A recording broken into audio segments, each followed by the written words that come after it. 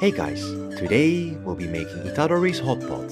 First, make his chicken meatballs. Add ground chicken, eggs, and aromatics to a bowl, and then pound them together. Then make balls with your spoon.